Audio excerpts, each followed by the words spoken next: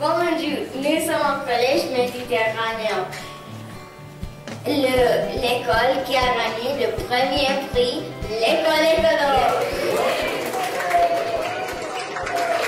Alors, quels sont les bons gestes écolo?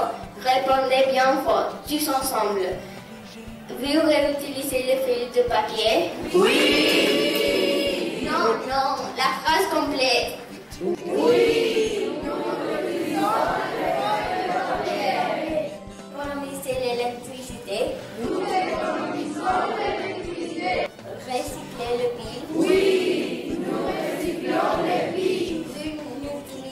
pas, n'utilise pas le sac en plastique.